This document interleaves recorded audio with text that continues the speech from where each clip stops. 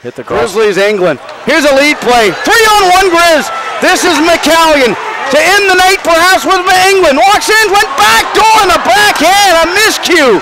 Here come the dogs.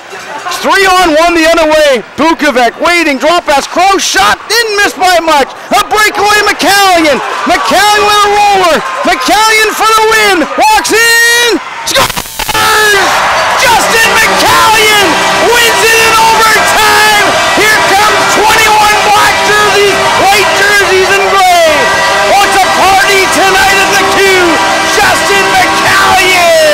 His second goal, Scotty, in as many nights. Welcome to the BCHL, Justin Michaelian.